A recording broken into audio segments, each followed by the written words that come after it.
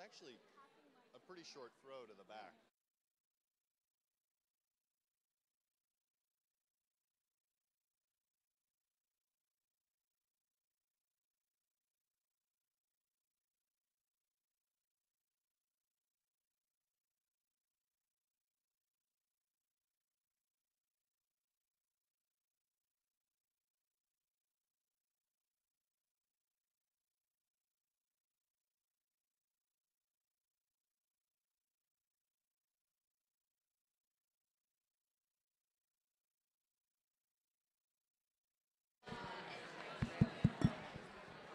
Good evening.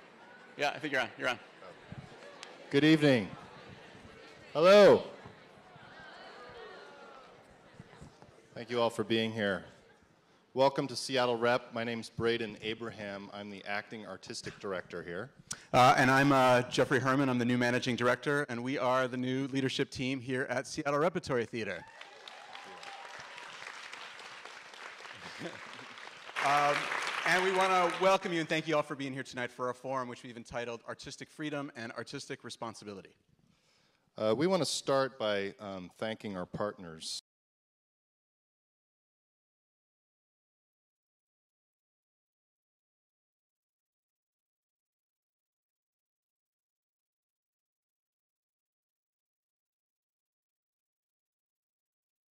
out this event, and uh, she's done a remarkable job. Um, this event would also not have been possible without the additional support from our friends at 4Culture and the Seattle Office for Civil Rights, who are all represented here tonight. Uh, finally, we want to thank the staff of Seattle Rep, especially our communications staff led by Karen Chilcote and Sarah Meals, and our technical team there in the back led by LB Morse and Colin Warner. Thank you guys. Um, they've all been working very hard over these last three weeks to put this together, so thank you very much. Um, we want to say a, a, big Seattle hello to everybody who's watching us over the internet tonight. That is right, we are being live streamed across the country on uh, the theater site HowlRound. Uh, and this event is also being taped for the Seattle channel. Uh, so just a heads up that by being here tonight, you're giving us permission uh, to broadcast your likeness uh, over the internet and uh, eventually by the, the Seattle channel. Um, I also want to let you uh, know uh, that you can be uh, participating in the conversation on Twitter. Um, we uh, have a hashtag which is Seattle AFAR. That's Seattle AFAR for Artistic Freedom, Artistic Responsibility. Um, we have an open network uh, available tonight here in the theater. Uh, so uh, if you uh, go onto your phones, look for SRT Guest and SRT Guest One, and there is no password. Uh, we'd love to have you. we'd love to have you tweeting and participating in, in, all of those ways. Um, so Kathy's going to provide an overview of how we're going to be proceeding tonight. Um, but we thought we'd take a moment to review we're why we're here before we get started. Um, as many of you know, the Seattle Gilbert and Sullivan Society has been in residence in our building, performing on this stage, the Bagley Wright, for four weeks each summer. This is a community-based performing arts company that's been serving Seattle for the past 60 years. Um, and their production this summer was of the Gilbert and Sullivan opera, The Mikado which uh, first performed, uh, premiered in 1885. Um, it was the sixth time that Gilbert and Sullivan Society has produced this piece in Seattle. But this year, on the heels of a blistering op ed in the Seattle Times by Sharon Pian Chan, in which she referred to the show as Yellowface, there were protesters lined up outside the building during performances and national coverage of the story on CNN, NPR, MSNBC and all over the internet. Uh, though it wasn't a Seattle Rep production, because it was performed in our space, we were drawn into the debate over this show. And we felt rather than distancing ourselves from it, the controversy opened up a valuable opportunity that we should seize to bring our community together for a constructive dialogue. These issues of art, race, and cultural representation are messy and confusing, and the rules about who can dress up as whom and who can tell whose story and in what context are an ever shifting minefield. We certainly don't have any illusion that we're going to solve the problem of race in America over the next two hours. but perhaps we can achieve a better understanding of this ongoing tension between artistic freedom and artistic responsibility. And maybe each of us can take away some strategies and ideas for how to approach this dialectic in the future. If we can accomplish that task, if we can come up with some strategies and some ideas about how to move forward in the next two hours, then I think uh, we'll all come away feeling like we've accomplished something tonight. And with that, uh, I want to turn it over to Kathy Hsieh, who is the Cultural Partnerships and Grants Manager for the Seattle Office of Arts and Culture. She is also a theater artist in her own right and the co executive producer of SIS Productions. Kathy. Thank you, Braden. Um, I want to also do just some really, really quick thanks um, to begin with. Uh, thank you so much, Braden and Jeff, for uh, co hosting this uh, event tonight. In particular, their staff really bent over backwards, just doing everything to make this possible. Um, we also want to thank our partners from 4Culture and the Seattle Office for Civil Rights um, for their additional support, in particular, Diana Falchuk um, with the Seattle Office for Civil Rights um, and um, Patty Lally, their new executive director there, um, and also to Christina DiPaolo from 4Culture um, and Jim Kelly for um, their support and everything that they did.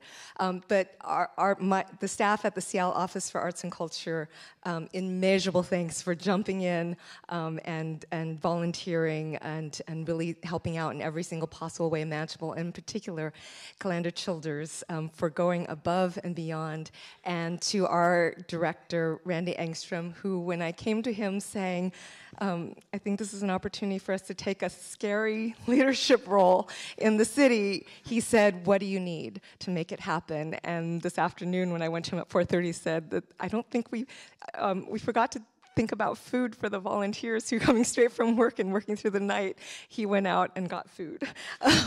so um, thanks to all of them and to all of the people um, who are going to be responding tonight out in the house and up here on stage for volunteering your time and most especially to all of you for making the time to show how important these issues are to each and every one of you. That says a lot about Seattle. Thank you so much for being here tonight. Um, okay, so the format. Um, uh, ever since we started doing this, the first question people ask is, what is the format? Who's the moderator? And, and who are the panelists? And to be honest, because this conversation is really about race and the arts, I didn't think we could do it in a traditional hierarchical Western format um, of that.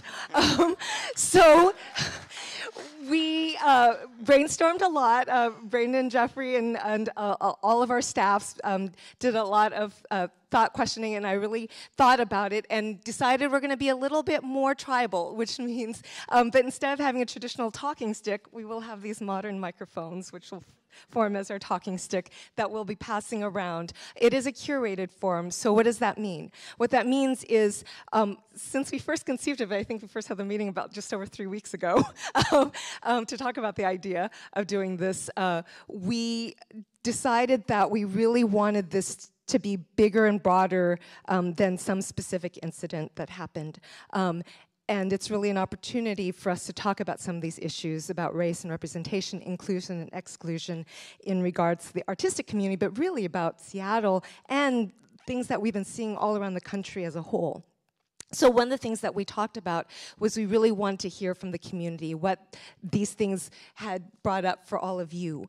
Over the last few weeks, um, people, all of you, and many others have been sending in comments and questions and um, going through all of them. We pulled what seemed to be the most representative questions um, that were prevalent. So there were, what you're going to hear tonight is just a, a small fraction of all the comments and questions we got in, but a lot of them do represent the different variations of the similar questions that were asked. So know that this is representative of what you wanted to talk about tonight.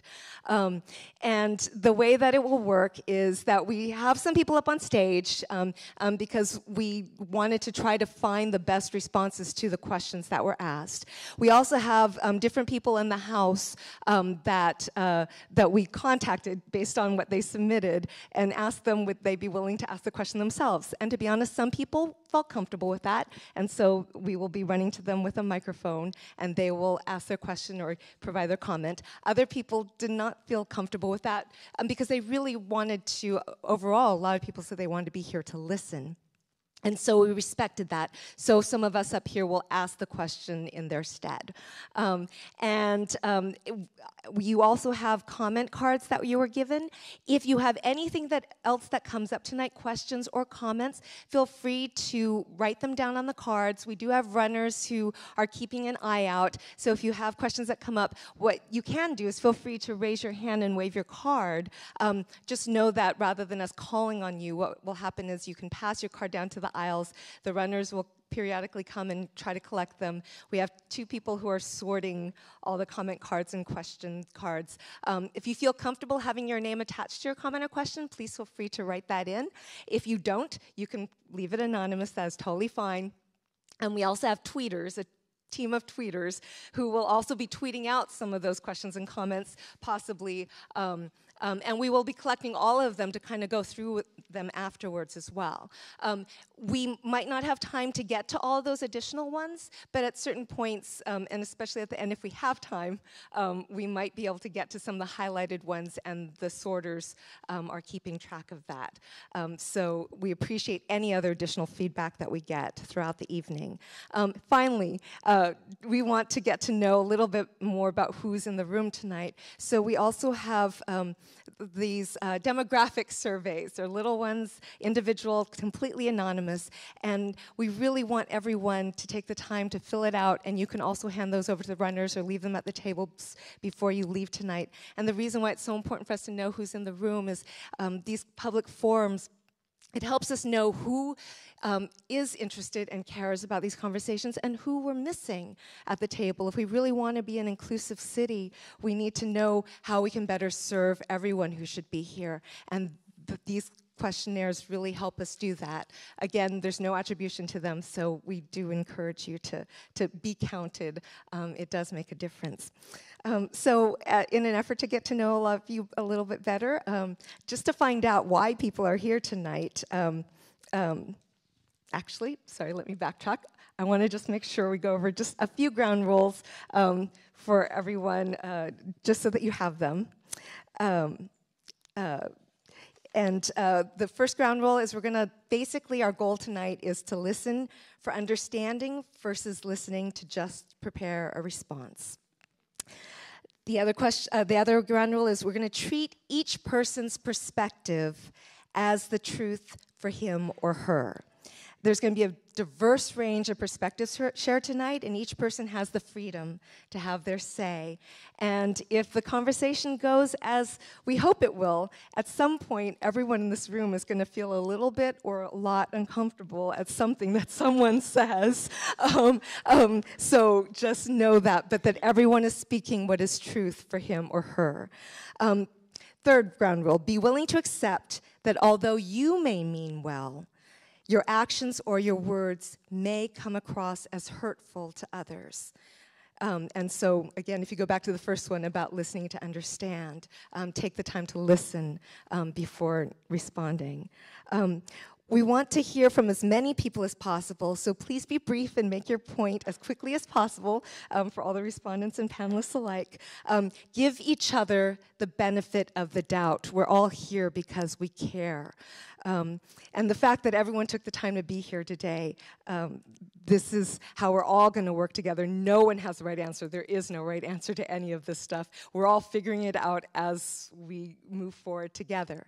Um, there are uh, a few people who are going to um, um, be playing a, a little bit of more of a co-shared host role with us. Um, and I just want them to introduce themselves. And then there will be other respondents, which we will be introducing as we call on them throughout the evening.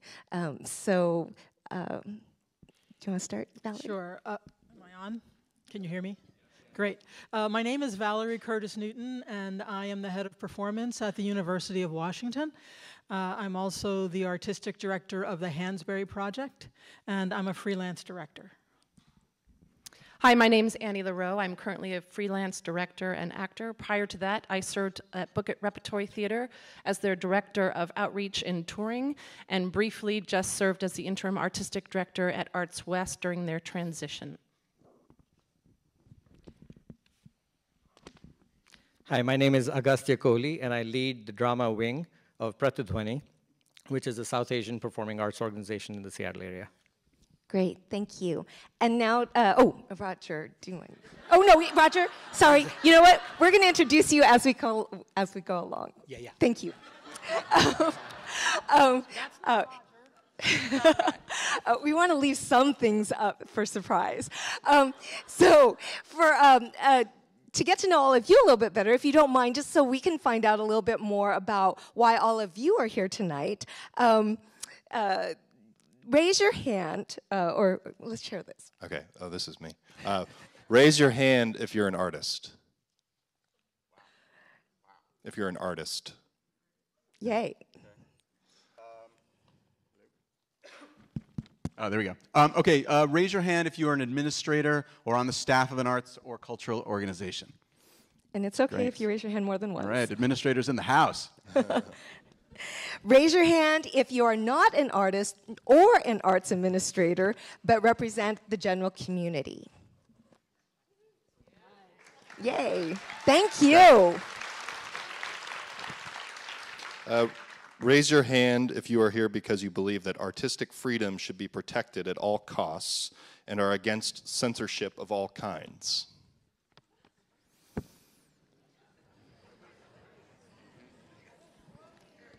Oh, Annie, sorry, I'm going to ask you to. um,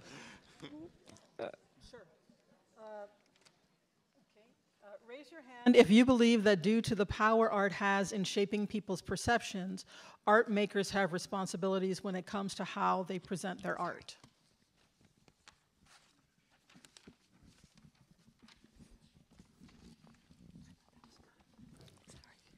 Raise your hand if you value artistic freedom, but also feel that with freedom comes responsibility.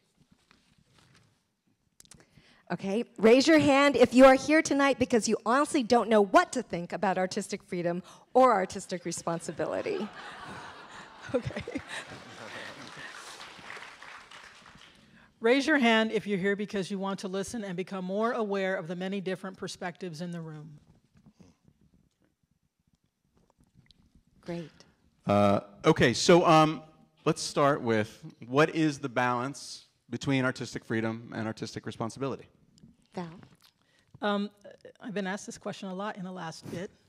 Um, I, for me, artistic, uh, artistic freedom is paramount because it's the thing that protects the voice of the minority. That without the freedom to, to speak your truth, um, the voices that are most frequently silenced are, are those that are, are in the minority.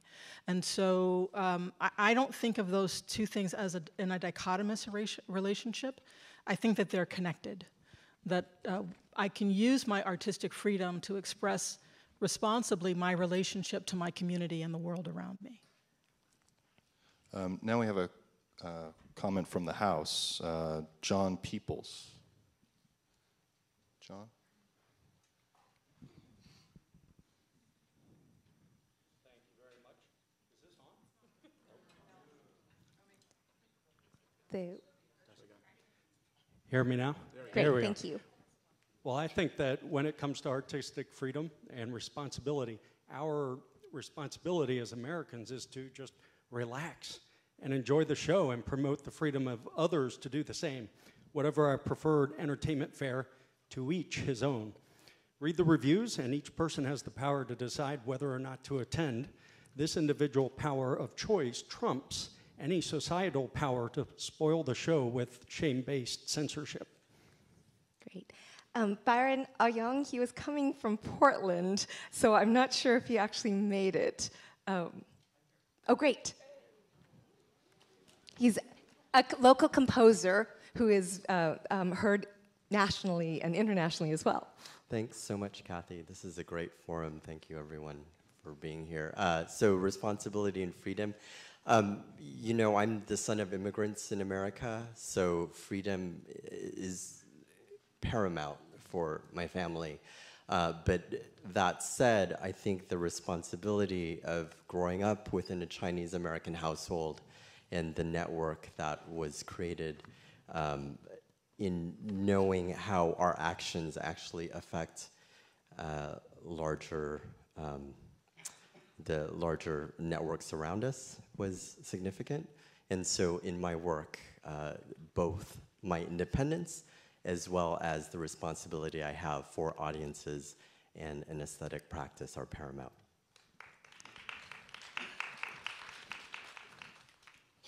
Michael Allen, an artist and people-centered designer. Hello. As an artist, I uh, believe in artistic freedom, but I also believe in empathy, especially for people who have been historically wronged.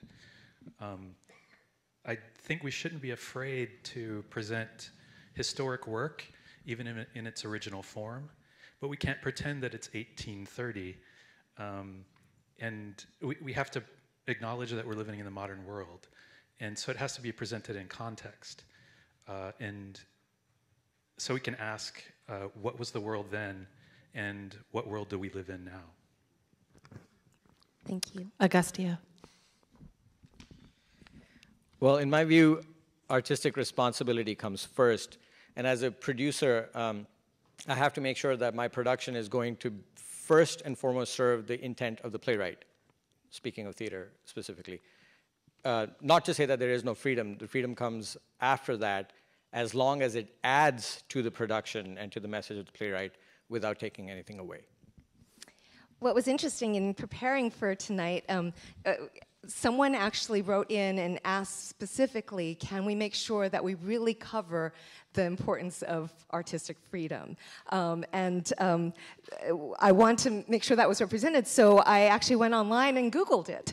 And um, what I found was actually the United Nations in 2013 actually um, surveyed all the countries that make up the UN, um, and the Human Rights Council of the UN actually issued a detailed report in March of 2013 that talks about the right to freedom of artistic expression and creativity. And out of all the countries surveyed, what they felt was paramount is that the world over, they felt that the right to freedom of opinion and expression in the arts is absolutely vital and should be protected at all costs.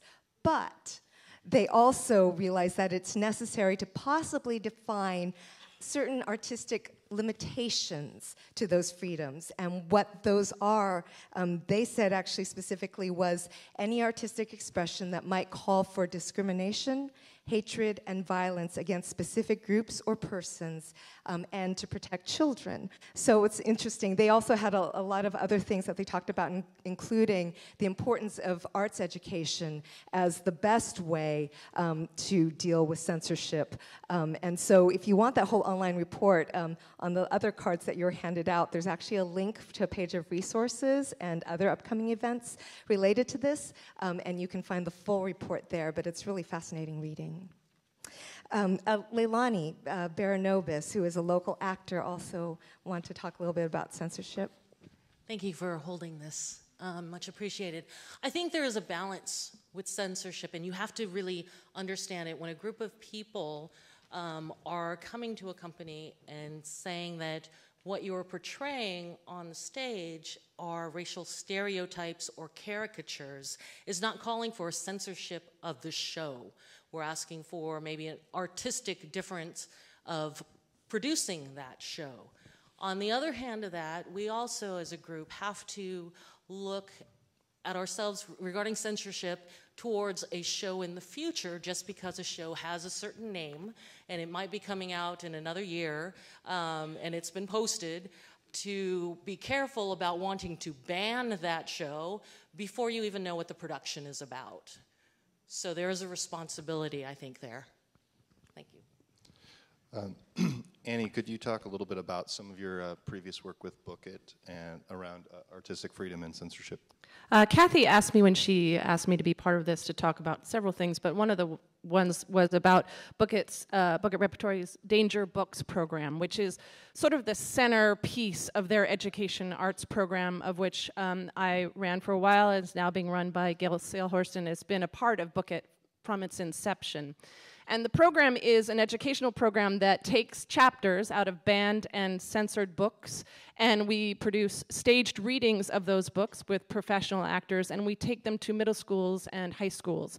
And schools are given a choice of seven different selections, anywhere from something that isn't very intense to things that are very intense, involving violence and race and homosexuality and drugs, things uh, that schools sometimes ban in their libraries. Uh, this, the actors perform those three pieces for the students, and then they lead a discussion around the First Amendment and what it means to ban and censor. And I think what's so brilliant about the program and what Book It does with this program is that it gets students talking about censorship in a very uh, in a very intense way that is not black and white. That they really try to represent the fact that um, this might be okay for you to read this book about drugs and sex, but would you read it to your younger brother? And really bringing up that conversation within the students that that controversy of how and what do I censor and why? Where are my personal boundaries? What do I feel should be censored or not censored? Is it right for someone to censor for me? And is it then okay for me to censor for someone else? Um, it brings up that conversation, which I think is really important in our young people as we move forward into the world and as they move forward into being theater goers and theater performers and involved in the arts in general, to continue to understand that that is a gray area that it is not black and white, that it is difficult, that it, it, it deserves attention, and it deserves um, their their focus and uh, concern as they move forward into the future. Great. Um, so um, uh, a number of people sent in uh, various forms of the question, should historic works created during times of different sensibilities be altered or shelved if in today's culture they are found offensive? So um, we want to do another quick poll here. So um, raise your hand if you feel like they should be shelved. So um, the question is Should historic works created during different times of different sensibilities be altered or shelved if in today's culture they are found offensive? So raise your hands if you feel like they should be shelved. Meaning never done again. Okay. Um, how many of you feel that the artistic work should be altered? All right. And uh, how many of you feel that the work can be done as originally created, provided that the proper context is provided for the work? Okay. All right, so we have, um, we have a respondent, uh, Kristen Liang, who's a student uh, in the MFA Arts Leadership Program at Seattle University. Kristen, are you here? There you go, right over there. Thanks. Uh, so I'd like to hear from you about how should arts and cultural organizations approach works that may be controversial while remaining respectful of the culture that they might be representing in those works. Um, so we want to hear from uh, uh, Guy Chan. Guy. Guy, I'm so sorry. Guy Chan, uh, former board member of uh, Northwest Asian American Theater, uh, who has a suggestion. Guy. Thank you. Hi, everybody. I do have a suggestion, and I think it would be helpful to not just theater groups, but any type of performance group to have um, a notebook, a notebook, or, or a, a, list of contacts of people in the community, uh, not just ethnic, but I mean just you know for groups who are uh, maybe culturally different. If you're going to perform something that's culturally different from what you're used to, it'd be nice to have people you can contact. Does that make sense? Yeah. Okay. Yeah. Thank you. Great. Um, Valerie. Interesting question. I, I think it's important to figure out uh, what role in your project there is for cultural authenticators. It's sort of how this list would get used, right? Like there would be some people at the beginning that you would take the piece to and say, I'm really interested in this part of this piece. What do you think about it? How does it land with you? What are the pitfalls? Where does it upset you? Where do you buy in? Uh, um, so th- I think that those people are important early. I think that creating an environment where people from the culture represented feel comfortable and a sense of integrity in being able to be ambassadors for the work. If you look up and you ask some folks if they will, you know, talk about the work in the community and they don't want to, that tells you something about the work.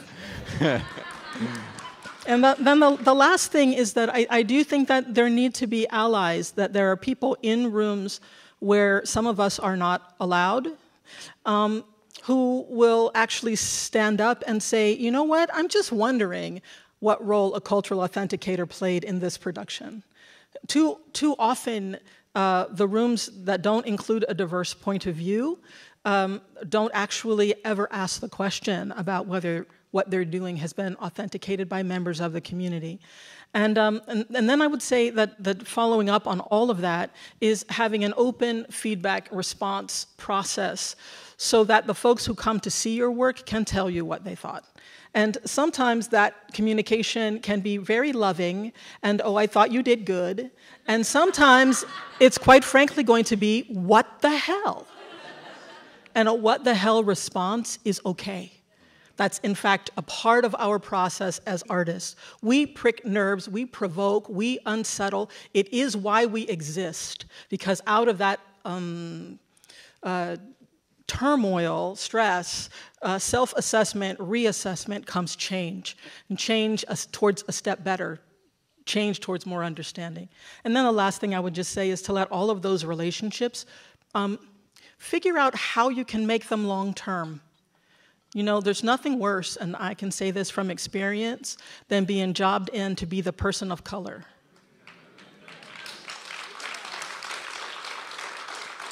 I'd, I'd much rather have a partner in the work and, uh, and be able to invest in a long term relationship with someone where we can build understanding about each other and, uh, and share strategies for enriching the work. That's great.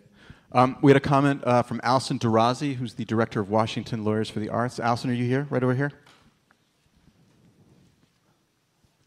Thank you. Um, my comment goes just a little bit of preface is that um, a lot of times people contact my organization when they have a legal issue that isn't related to the production of their work, but about their experience as an artist in a community or in a theater, in a some sort of a production.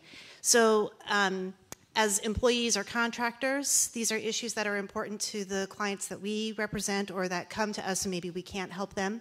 And um, it requires not just their engagement as members of our community, but of course, members of our larger community, be they artists or audience members. And my point being um, that I would strongly advocate for a truly deep level of racial and gender equity training at all levels of arts organizations from staff, board members, leadership. That's great. That's great. Um, and we wanted to throw to Kim Camera of Native Cultures, who has some. Oh, uh, some. Just, I'm uh, sorry. It, just building on that really quickly. Um, it also helps to have diversity on your staff and your board already, who can then have internal expertise for your organization. Great. So, um, Kim, are you here? Um, Kim is with uh, right there. Um, Kim is with uh, Native Cultures and um, has some best some uh, some tips for us. I would also like to add that I am the chair of the Welcome to Our Native Land Committee, doing powwows in non-native contexts. That's a really key um, element of what our group is doing right now. Um, so, thank you. Uh, become present within a cultural community to learn protocols, practices, and develop relationships. Respectfully develop relationships with key community arts, in quotes, and cultural practice leaders. They open doors. Not everyone defines arts as art. Learn, learn, learn respectfully from elders and those artists and or performers, in quotes again, known within a community. Key is developing relationships. Find out key community leaders. Network by asking open ended questions that focus upon who you are in your communications within a cultural community. And walk from the heart, not the mind. Thank you. Thank you. That's great. Thank you. Um, yeah several uh, people wrote in and they asked, you know, the general comments are great, um, but what really helps them to really understand it tangibly is to get a very specific example of what we mean by some of what you just heard. Um, so I'm going to share an example of um, how to respectfully uh, look at kind of, uh, if you're doing a piece that might potentially be controversial, some best tip strategies for how to approach it um, long before um, the doors have even opened on opening night. Um, so uh, I represent SIS Productions. Um, that's my life job, uh, is in the arts. And um, it's a company run by Asian American women um, to do works for the general public. And one of the productions we decided to do, we knew from the very time we thought about doing the script that it might potentially be controversial, not necessarily because of its content specifically, but because of its title. Um, it was basically a play by Lauren Yee, which was about a Chinese American family that is so assimilated into American culture that they're basically whiter than white in how they act. Um, and uh, so when they encounter an Asian immigrant um, from China, uh, they actually commit every single worst faux pas that you can think about that uh, someone who does not understand someone else's culture might encounter with them. But on the surface, they all look like they are the same. Um, and the title of the play, and I apologize for people right now who are going to maybe be offended by it, um, is called Ching Chong Chinaman. And for a lot of Chinese Americans, it's a very hurtful name because oftentimes it was the first thing that we experienced in the playground when we were little of other kids calling us using that in a very sing-songy voice and really awful degrading treatment.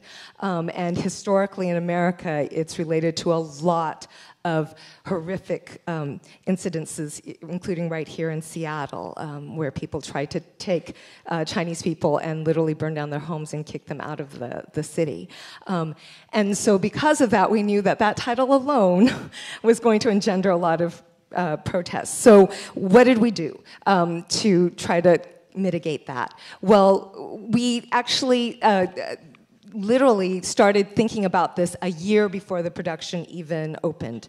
Um, some of the things before we even decided to finally do the play, we actually talked with um, the playwright herself to talk about her reasons for using that title and to get some understanding that way. But again, we are artists and we believe that there should be artistic freedom. We didn't want her to change her title, um, but we wanted to get an understanding of why she chose to name it that way. Um, and then we really talked about why we wanted to do the show. The main thing about the show is that it really helps to um, teach and share with people and create greater awareness about some of why these things are so hurtful um, to communities and to actually create greater awareness for that for the general population. So we felt it was really important thematically to do the show um, despite the controversial title. Um, so what we did was we actually were very, and Val talks about this a lot, be very clear on the why you're doing it. And so we actually created an artistic statement specifically for the show about the reasons why. Um, and then uh, we included messaging um, around that statement that talked about how we knew that that title alone might bring a lot of pain for a lot of people in the community, um, but why we felt it was important to do despite that because we wanted to get at the root of that pain um, about a lot of the inequalities that have happened in our country's history and still happen today. Um, so we share that messaging with everybody in all of our processes, from hiring the director to the designers to the casting process. We were very clear with everybody um, before we hired them why we were doing the show to make sure that everyone was on the same page with us. Um, and then our staff and cast were all Asian Americans, and we felt that that was really important because we need to embody what the piece is really about and make sure it was authentic. Um, our director was Chinese American, our design team in front of house staff were multiracial, um, and the uh, and it was all a way to really be reflective of the material being presented. We also had in-depth discussions with everyone well in advance um, to create a strategic plan for how we would actually make sure that every step of the way would be very respectful for everyone who might comment on the title, be offended by the title, protest the title, um, um, or uh, maybe not even get why the title was an issue. Um, we also made sure that all of our marketing materials, from website to postcards to wording, and the image that went with it, um, really helped to really portray what we were trying to get at. So the postcard was of a very all-American family. Um, it, in fact, it was kind of uh, taking off of um, um, the Saturday Evening Post uh, covers, um, so that it kind of really contrasted sharply with the title, so that hopefully just in the imaging, um, uh, people could understand where our intent really was. And then we scheduled post-play discussions for every single performance. And um, we wanted to give opportunity for the community to talk about it.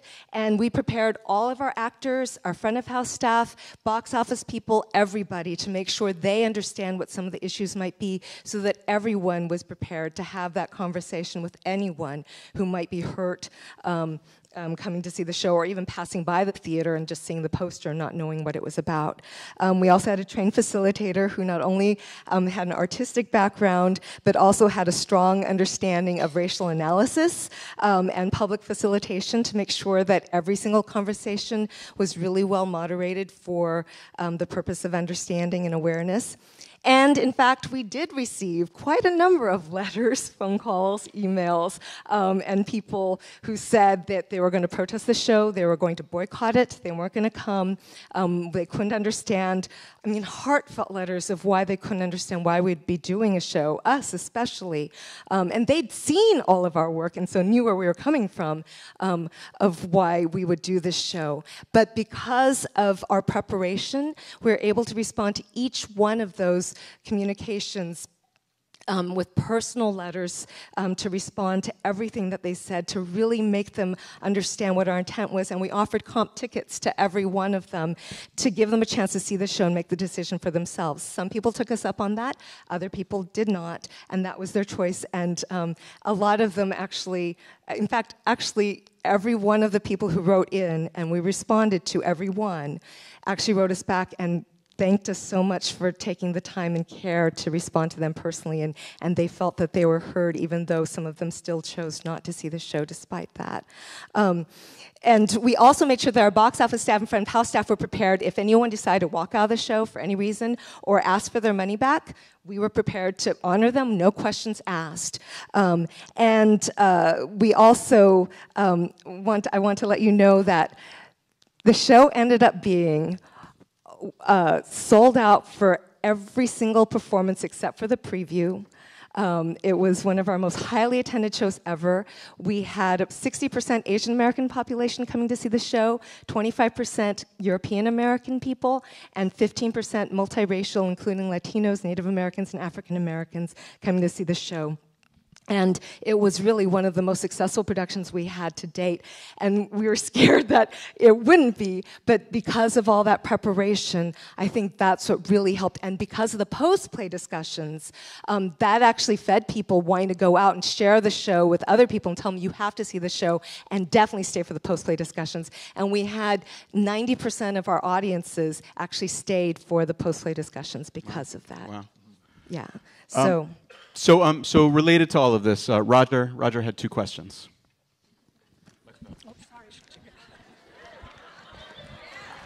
Here, here we go. Yeah.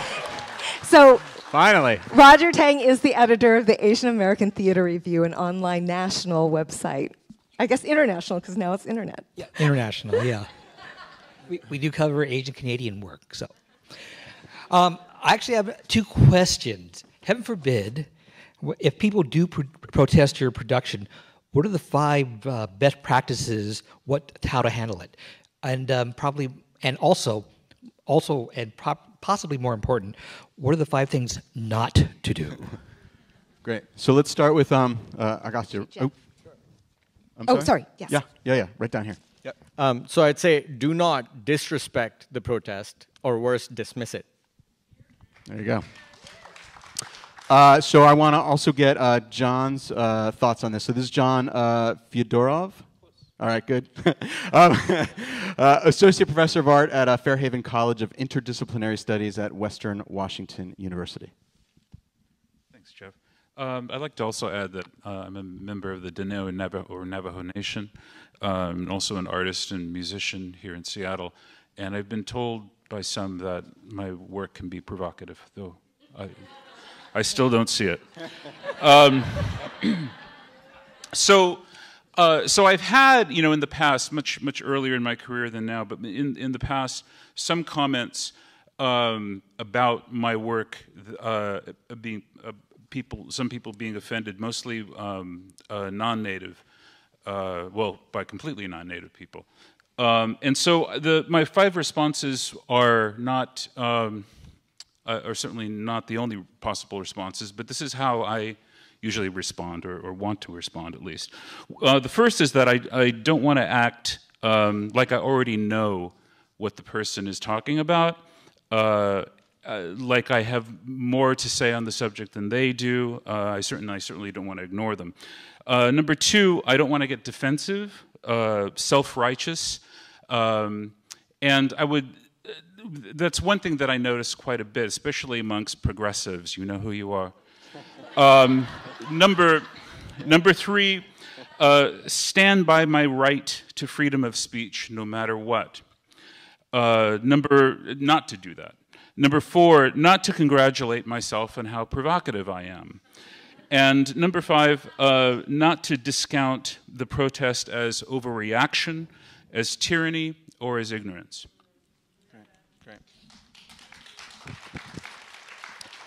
Uh, so uh, I'd love to hear from Beverly next. So Beverly Naidus is an interdisciplinary arts professor at UW uh, Tacoma and founder of Arts for Change workshops for socially engaged arts in Seattle. Thank you, Jeff. Um, it's it's uh, amusing to me because I'm following John, who's a former student of mine. So. always says this. and it always aggravates him. Um, so, um, some of what I'm going to say is a little redundant here. It's do not patronize the, the protesters, do not ignore them. Do not make assumptions about what they are thinking or what their position is. Do not assume that one gesture or invitation is sufficient to address the concerns. And do not hope that it will all blow over. That's great. Uh, I would love to hear some more on this. So, can I send it back to you, Agastya. So, in terms of what to do, I would say the first step might be to actually uh, reach out to the protesters or protesting group um, and try to understand their concern. And if the cause of their concern cannot be mitigated or el- eliminated, and this by no means means that you should hand over the control of the production um, or give in to any of, of the censorship that you might see in that protest. But you know, at least engage with them in that conversation. If you cannot mitigate their concern, then respectfully ask why and, and attempt a public dialogue with them, perhaps as a talkback um, after the productions, like we were talking about. That's great. Valerie? Um, I think the cardinal sin for producers is to be caught unaware. I think that if, if, you're, if you're engaged with the community, uh, then you know when you're likely to piss them off. and you, you make choices about that. Um, and once you've you know, done that, made the decision that I'm going to do this thing anyway. Uh, just uh, by way of example, uh, when I was a graduate student, I did a production here of a play called Stevedore. It was written in 1936. It was about black dock workers in New Orleans. The play used the word nigger 87 times. 87 times. Right? Guess what? I knew black people were not going to be happy. right? So I, I did have the step where I thought, is every one of these 87 times necessary? Right? That was a step. Then it was, well, if I'm not going to cut them all, why cut any of them? And then I thought about my grandfather who lived in the South in the 1930s, who heard the word 87 times a day. So I said, people just going to have to deal right? The step that happened sort of in the middle was I was willing to be in the post play discussion with my flak jacket and say, Yes, I could see that would upset you. I absolutely can see that it would upset you. And I didn't want to deny the experience of my grandfather and the millions of people like him who lived under this system in the 1930s. And so I made a choice. And I rolled with that choice. I think it's it's the the critical thing for me. And we talk about talking with the protesters, and let's talk with the protesters. I, I, I'm I want to know if there's common ground. If we can find common ground, then let's move to it. And if we can't, let's agree to disagree and keep it rolling. I don't need to go around it for months and months in the press and on the thing and over the thing and around the thing and just. I want to get to things that we can do to make change, and that means we have to, those are the places where we can, are the places where we find common ground. That's great. Beverly? Uh, we need to respectfully invite members of the protest group to tea. Listen to them fully and attentively. Ask them what kinds of re- remediation is necessary. A public conversation addressing the concerns of the protesters and the goals of the performance might be one option. A post performance discussion group, an anti oppression workshop for the cast, production team, and theater administration, including the board, a day long retreat for all those involved, or do some Theater of the Oppressed theater games to explore where this conflict is rooted and how to demonstrate that effectively to, to, audiences. Look at ways to address these issues that are healthy and liberating, not censoring. Um, since this, this question's come up um, in the comments, uh, it, I think it, it, might be helpful to go deeper and try to understand some, um, to try to understand why some groups would even protest an arts event. Roger, do you want to take that? Well, uh, I'll, I'll take a little bit of that because basically my I, I, go back to a very simple um, principle. Um, if you have the artistic freedom to uh, do what you want on stage, uh, the audience does have the same uh, freedom to say what they think of it. I mean, if I mean, look, it, it, let's be real simple. Let's be real simple here. If you do a half-assed job directing, Misha Berson is going to tell you that. if you do a half-assed job on racial stereotyping and be lazy about it, you are going to hear about that, and you should. Thanks. uh, Fern, can you share uh, your take on why something that might seem harmless for some might be traumatic for others? Uh, sure, but first I'd like to back up just a little bit and add my two cents to what not to do. What not to do is say, oh, well, I've got a native or Asian or Jewish or black friend, and they're cool with it, they're down with it.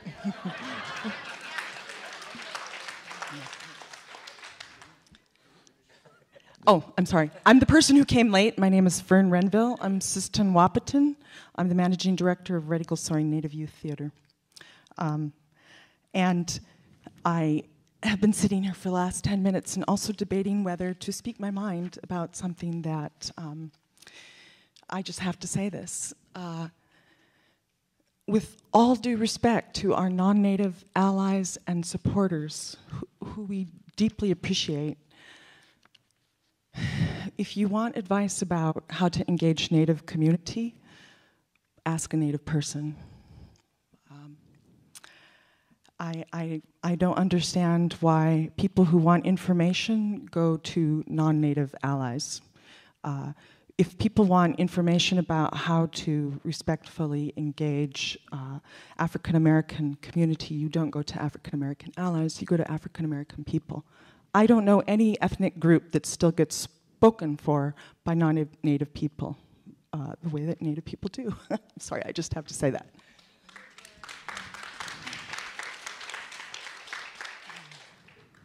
Um, okay, got that off my chest. Um, Redskins, privilege. Um, this is just an example that's really alive and dynamic right now in Indian country is the word redskins. Uh, we hear, oh, don't be so PC, don't be so sensitive, move on, et cetera, et cetera. And um, if you can walk around and have the word redskin only connote football and um, fun Sundays and tailgate parties, then you're privileged if you have ancestors who 150 years ago were being hunted, murdered, and having their scalps turned into the state for a $200 bounty, then the word has a really different meaning for you. Um, we just, uh, uh, I think that um, uh, non native people get so much privilege not having to see or feel or think about um, all of the uh, uh, everything that gets evoked for native people by say a word like redskins by the play peter pan uh, the list goes on and on and on but i just i know that you're probably i'm you know this is the, the choir but um,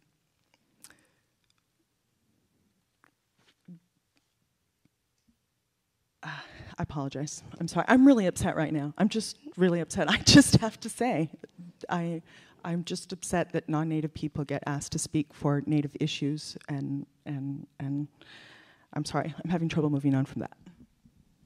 Thank you, Fern. Um, uh, Toshiko, yeah.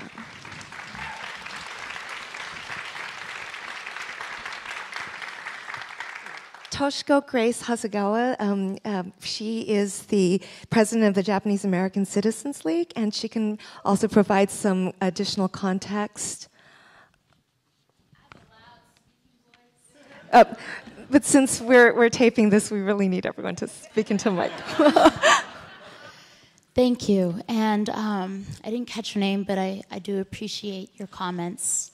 Um, and I just want to say that I appreciate that this is a full house right now. What a beautiful gesture on behalf of the community, this city that we live in, that we all love, that we've all come here and throughout maybe this generation, maybe generations ago. Um, I have a mantra, and my mantra is everyday good vibes, everyday fresh mind. Now, I think I want to start where George, son, left off.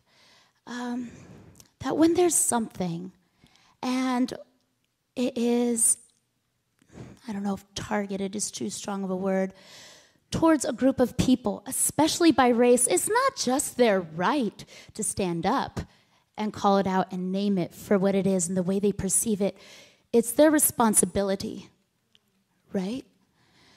Now, some of the historical context for the Japanese American Citizens League. Well, we're the nation's oldest and largest Asian American civil rights organization in the nation. And Seattle is the original chapter founded in response to a need for a community who needed safety and solidarity in a time frame where there was no shortage of discriminatory policies. Policies that banned access, barred access for Japanese to get um, naturalized, that kept us from buying property in certain places, that prevented us from marrying white people, that took a white person's citizenship away when they married Japanese. And the bulk of our membership was actually created, um, no surprise, World War II against solidarity, maybe because we were forced into that geographically when everything that we owned was taken from us and we were forced to live behind barbed wire fences. Well, the thing is, is that the Civil Rights Act was passed 50 years ago. America, we are one and we are young. We're like this rambunctious, privileged teenager that gets away with everything, and we're just gonna push it to the limit because we think we're invincible.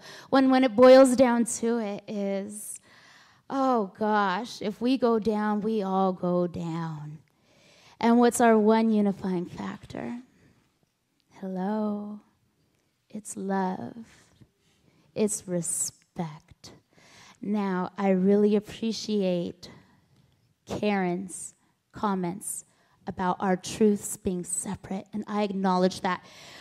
I feel compelled to say that I was present at the protests that it was not organized by JACL. We were invited by a grassroots movement by the community that spoke out and said, We need advocacy. And we agreed. But what does this have to do really with um, civil rights, with the Mikado, with, with the play, with artistic expression? It's that, please understand, for our context, this same imagery, these caricatures, they were used as a tool. We know that when this was written in the 1800s, this in a time frame when Japan was closed off. Japan did it to themselves, to the rest of the world. We know they weren't thinking to hurt anybody. What was intended by the production is not the same as what was perceived by the community. And that's the difference in our truths. When we go and we went to spread awareness about what our truth was, we should have known that we would hit a wide range of reactions from let's talk to outlandishly, yeah, I'm racist. But you know what? When I got home, honestly, I'm gonna speak honestly because I'm amongst community, family. I felt like I just got my ass beat. My head hurt. I was tired. You know what? I was low key kind of depressed too. And I really did not want to go back the next day. I didn't. And then I consulted with my mentor, Sharon Tomiko Santos. She has a long history of civil rights activism herself. And I just thought out loud, I said, WWMLKJD. right. What would Martin Luther King Jr. do?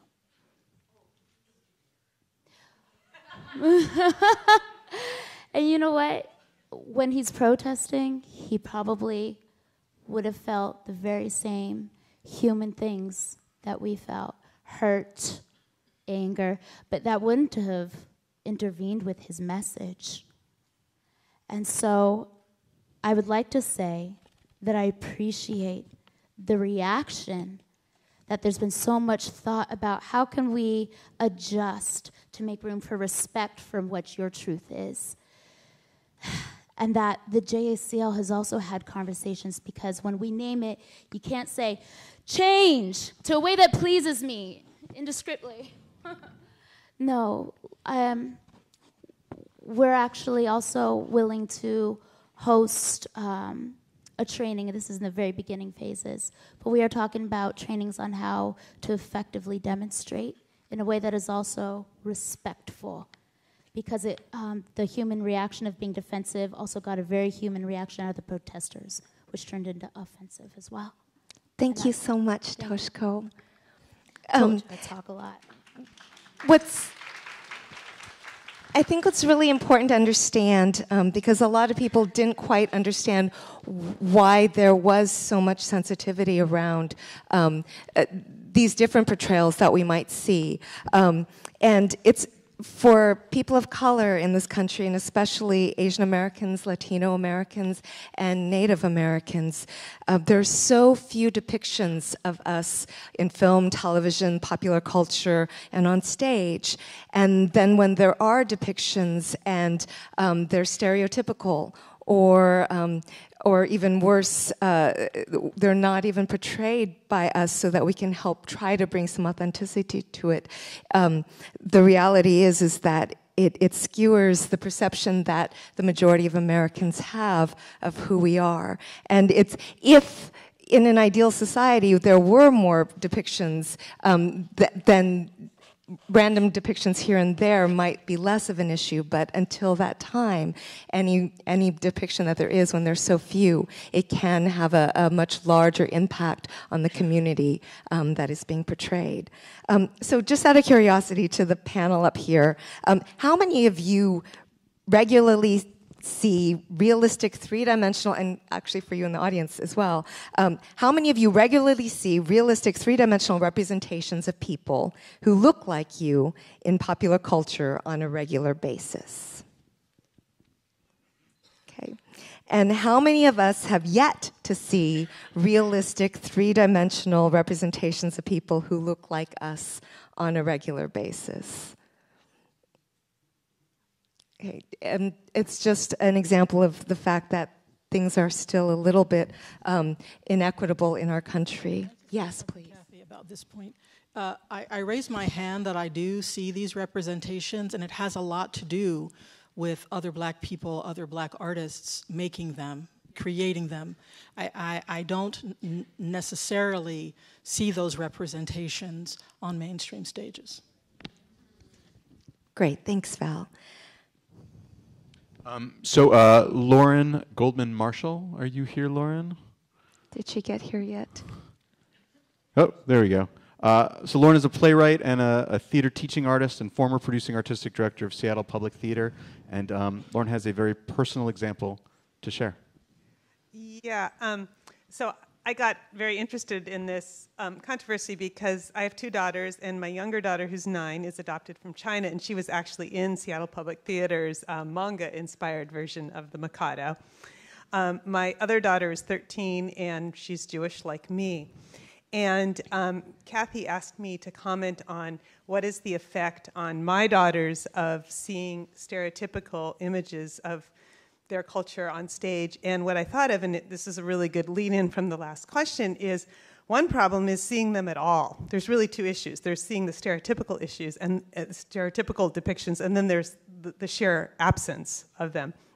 My daughters are ve- very attuned to stereotyping in the media, and they will point out to me on their own accord when they see this happening. And I'll give you an example. Um, Barbie in the Dream House. It's a popular television show that's aimed at elementary school girls.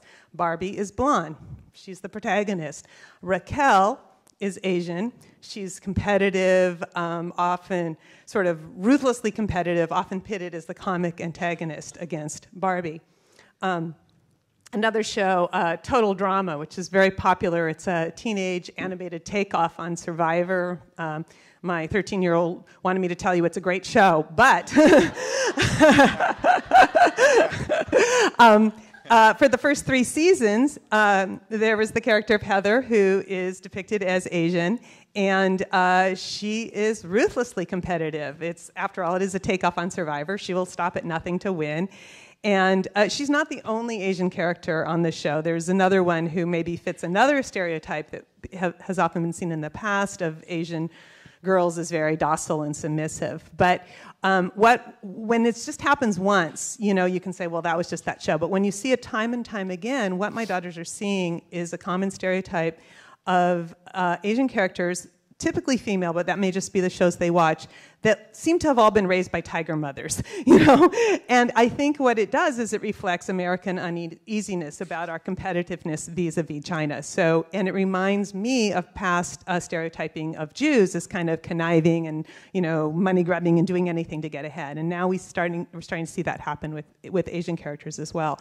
So that's one issue, is the stereotyping. And as my daughters will say to me, in these shows, the bad characters, they always have black hair, or if they don't have black hair, it's artificially dyed, like some chartreuse or, or white or something.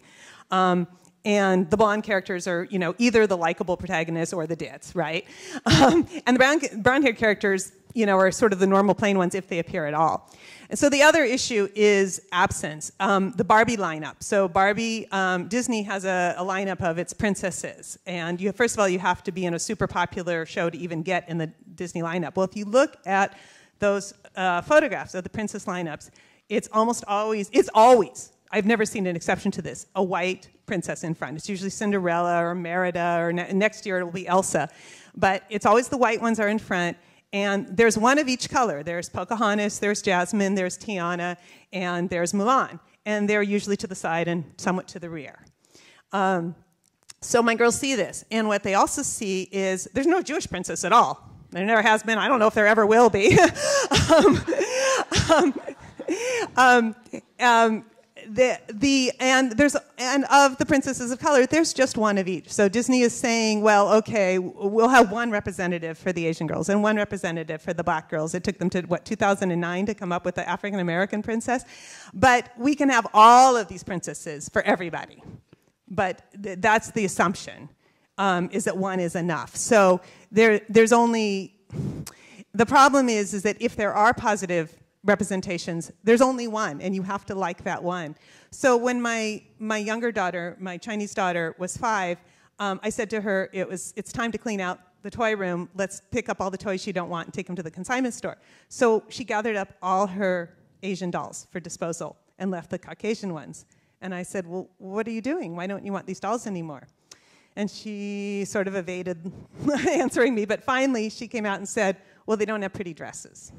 So I, I, reached a compromise with her. I said, Well, I'll tell you what, we'll sew some dresses for your dolls if you will keep these dolls. And so that was okay, and we made dresses for the dolls. But, um, you know, what she was seeing is Mulan with her, you know, man clothes and her, you know, her, her, she does have a pretty silk dress, but it could not compare with Belle and Aurora and Cinderella and their elaborate ball gowns. So she's getting the message from the pervasive culture and probably compounded in her case by being a transnational adoptee in a white family in a white culture. She's getting the message that the blonde haired princesses are, are the better ones. Um, and so you know, when I see what we're talking about in the theater, that's just the tip of the iceberg. And I think we have to look at the broader media messages that, that kids are getting from television and film. And we have to start fixing it here and hope that it moves, moves into those other genres as well. Thanks, Lauren. Um,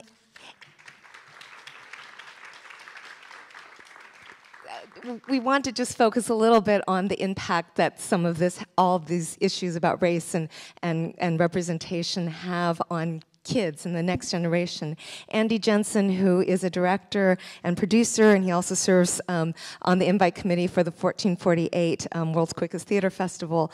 Uh, we had actually a really fascinating conversation because he also is a white father who has adopted um, uh, transnational youth. Uh, his daughter Elizabeth is um, Chinese American, and um, he also has a son who is black.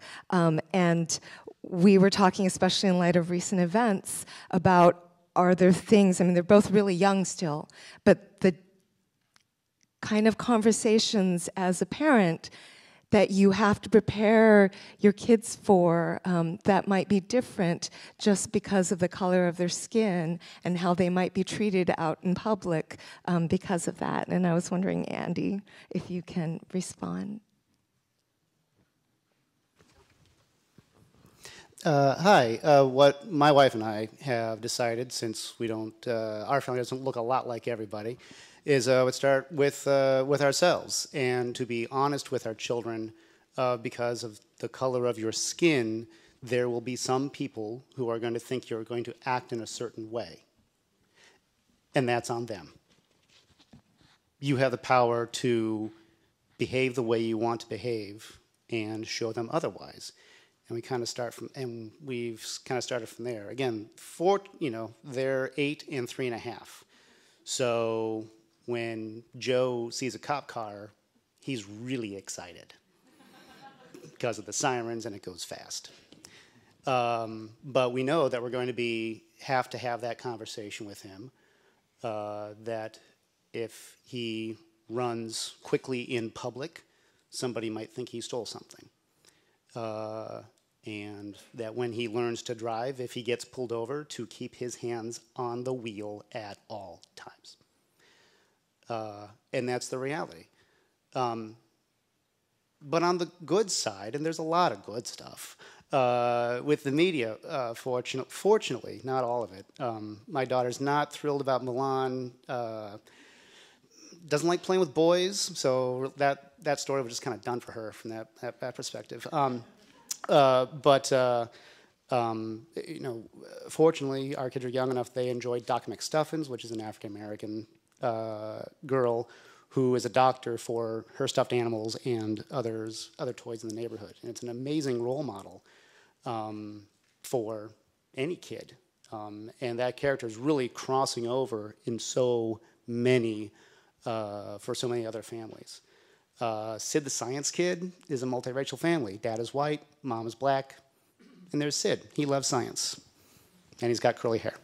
Um, I'm not sure what else I can really say, but except that, that uh, as artists, uh, whatever sort of art we do, our actions have an impact on our audience, whether we intend them to be that way or not. And we have to take responsibility for that. Great, thank you so much, Andy. We, we actually, had a number of people who wrote in specifically asking if we could have some people talk about the fact that all families, because this is a casting thing, right? Um, all families do not look like each other, and they wanted that represented. So thank you both for sharing. Um, Bob Williams, who is an actor with Living Voices, actually brought up a really unique point um, um, that we just want to give him an opportunity to voice.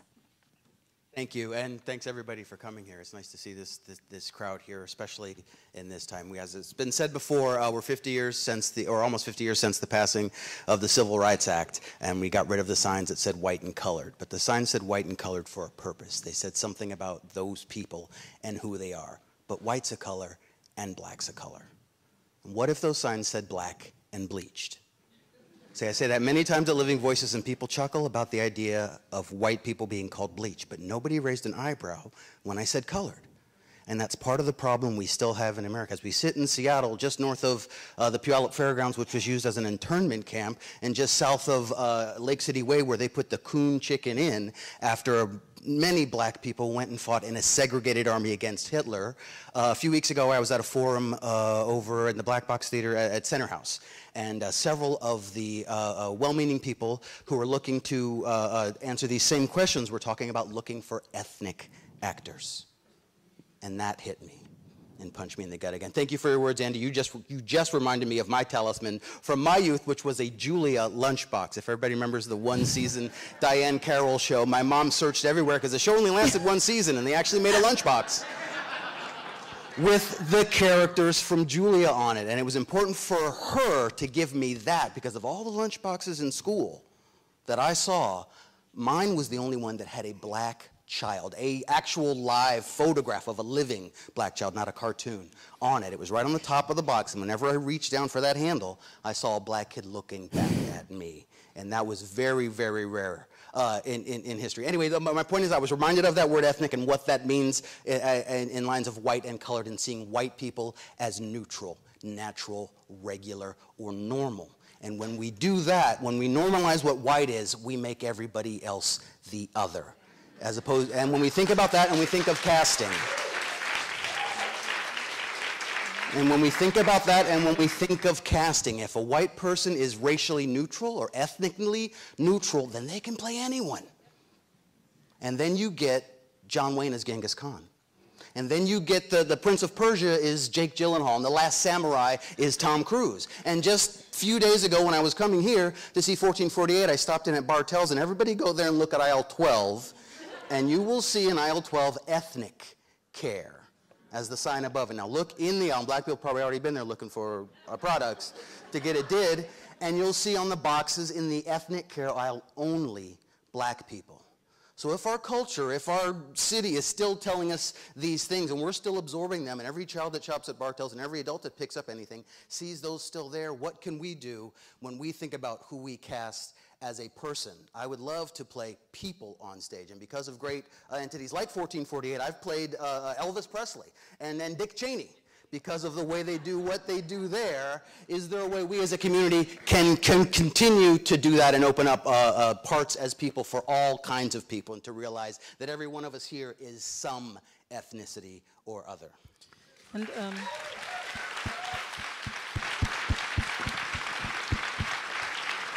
just really, really, really, really briefly, about uh, three weeks ago, I made a post, uh, a post on Facebook that said, you know, I get called a lot when people are looking for black actors. Um, they call me and they say, "Do you have any?" Like I have, like there's binders of women, there's binders of black people, there's binders of Asian people, and you know, uh, uh, historically, in all my time here, I've just I've called people and I've said, "Are you interested in this?"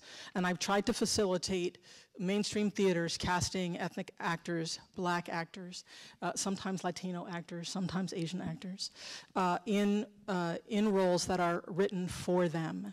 And I had this um, epiphany that I, have become part of the problem, in that I wasn't also on the back end requiring a, a conversation with these producers that says, and so tell me how you approach non-traditional casting uh, tell me that you actually ask every director who pitches a project to you whether or not, in fact, the possibility exists for non traditional casting. And do you, as an institution, actually understand the difference between colorblind casting and non traditional casting? And if you don't, then you're not doing it right. And, uh, and also, these same relationships that we're telling you to build with uh, audiences that that are diverse, you must also build with artists who are diverse, that long term invested uh, in their wholeness and, the, and their potential to deliver amazing performances in lots of different uh, arenas. And so I'm, I'm not going to do it anymore unless I can have that conversation and hear about the processes that these theaters are using to make the community look more like it looks in life. Thanks, Val. Thanks, Val. Um, so, so given all that, how can an arts organization take an older work and make it meaningful for a contemporary audience? Uh, Michael Allen had a specific example that worked for him as an audience member. Is Michael? Michael here?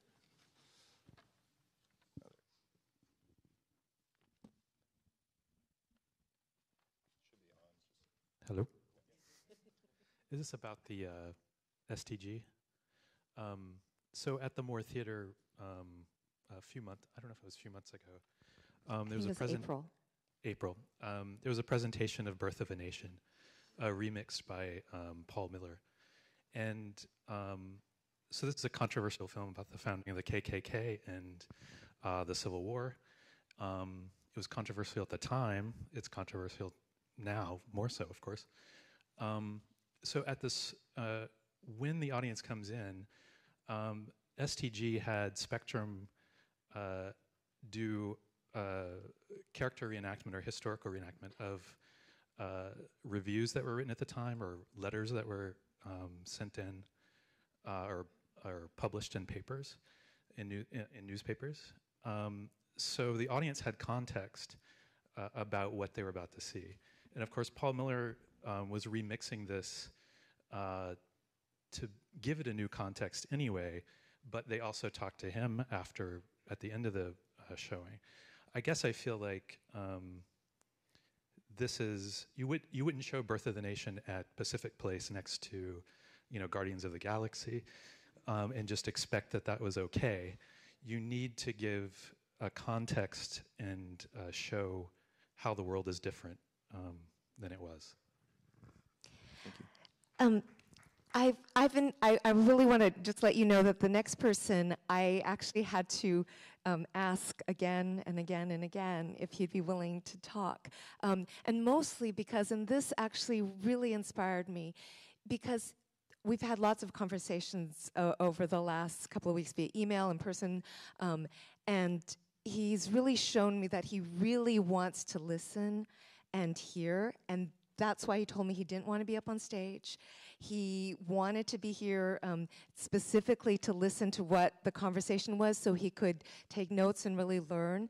Um, but he just came back literally last night after midnight. We were emailing each other because he just got back from a wonderful opportunity um, um where he, um, it, it's actually, it's Mike Storie, who is uh, the producer with Seattle Gilbert and Sullivan Society. Um, and there was a summit that he was sharing with me that happened where they literally came up with a brainstorm list with a, a lot of other Seattle Gilbert and Society um, groups all around um, the country. Um, and they came up with a very uh, a brainstorm list of almost 50 suggestions and responses um, for how an organization can produce um, historic work uh, in a way that they can still make it and provide that context and, and make it um, um, work possibly with uh, a in a way that's respectful for other communities. Um, so, Mike, would you mind standing up and, and just sharing a few of those? Thank you so much.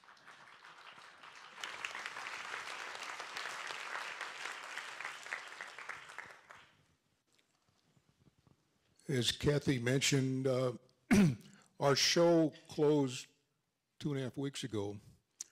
And Thursday, I and a member of our board went to San Francisco to meet with 15 other Gilbert and Sullivan societies from around the country there would have been probably twice that many, except the International Gilbert and Sullivan Festival is going on right now in England, where I'm sure it's also a topic of discussion. Uh, essentially, there were a lot of differing views. There were people there from New York City, Norman, Oklahoma, several places in Texas, uh, and the Lamplighters, which is a very large company in San Francisco. And we, or at least I, acknowledge that there is a phenomena called the white man's privilege. And it has existed for, what, thousand years? Who knows? Uh, it was rampant in Victorian times. Victorian England was very jingoistic. And uh, we've had the privilege, if you want to call it that, of putting on blackface or whatever costume we want and playing on the stage and then taking off and going home and we disappear. Uh, what we need to do is take works, and there's a lot of them beside the Mikado, obviously, and get the context up to date. And some of the suggestions had to do with doing exactly that. Uh, there was uh, Mr. Lui, I forget his first name offhand, from MSNBC, who flew out here to interview us, filming some of the shows. You probably saw it on YouTube. Richard. Richard was his first name. Richard Lui, sure. And he made the statement that the Mikado was currently running in 46 states. And I was flabbergasted that that number was so low. I would guess it, if it wasn't for the festival, it would be running, running several places in all the states. The Mikado to Gilbert and Sullivan is sort of like a Christmas Carol is to a theater company or the Nutcracker is to a ballet company. It sells out. It's a very good show. It has great music and a goofy but very funny plot. But there's no question that it will offend some people. The goal here is to be able to produce the Mikado in such a way that the context is taken care of in a way that people will understand. It can be changed. It can, some of the suggestions were good, some were ridiculous. Uh, changing the name of Nanki-Poo to Frankie Poo probably won't fool anybody, you know. Uh, Gilbert really wanted to pay homage to the beauty of Japan as he understood it. Uh, of course, Japan had just been opened to the West, and he made mistakes. Uh, if you read or study it at all, he really wanted to do it right, as he did with most of his shows. Uh, unfortunately, over 130 years, the concepts have changed somewhat. Uh, people have uh, condemned the use of the name of a town, Titipu, like it was junior high school dirty talk. Uh, really, there is a town, Chichibu, that not only was the model, but uh, imported silk to England and now has a Gilbert and Sullivan Society. And they brought their Mikado, all the Japanese actors, to England to the festival, and it was very well received. Uh, we are open to any kind of suggestions and certainly will reach out to whomever can help us as consultant, the director, what have you. Um, I've said several times, I personally was sandbagged by this whole thing, that first article particularly. I grew up in Seattle, went to Garfield High School, knew all kinds of Japanese people, and nobody ever said they were hurt or bothered by the Mikado. They knew it was silly, they knew it was about England, uh, but I can see it does hurt somebody. There's no way that I, as a white man, could get into the head of somebody of a different ethnicity, nor can you get into my head. I've got a couple of issues, but I try to keep under control. Um, anyway, uh, we have had in the past uh, dozen years ago, we did the Mikado 20% of the cast was Asian. The problem we have is that we cast whoever auditions for the show. And I guess we need to find a better way to get more Asians to audition for that particular show. We have one Asian on our board of trustees. Uh, okay, you can say, so what? Um, these, uh, I think it was seven Asians that auditioned, all got into the show. Uh, they were made up just like everybody else. They wore the same costumes, and it just just went. And so, you had mentioned that when people call you looking for an ethnic actor, uh, I'd like to talk to somebody who's an expert in uh, ethnic studies, but they have to know something about the theater, the history of the Mikado, uh, and go through and see, well, what is it that is really hurtful? Uh, can it be set somewhere else? People have tried that. It, it sometimes works. What can we do to make it right or better? And as somebody else pointed out, uh, nobody's forcing you to go to the show. Anyway, um, I'm very happy uh, that we're all here starting this discussion. We started it in San Francisco. We probably won't do the Mikado for six years or so because we rotate all of Gilbert and Sullivan's shows. But there are other companies in other states that are going to be doing it next season. And they are actually asking for help in this. So, uh, again, this is just a start. The San Francisco trip was a good start. And uh, hopefully we can keep the dialogue going. And I can't take credit for all of this, but Thank you it so sure much. started at home. Thank you so much. One of the things, one thing that Mike emailed me um, just this afternoon, actually, that I, I loved, and I hope you don't mind me sharing this. This was one of the 50 suggestions. Was a way to begin is starting with cultural humility.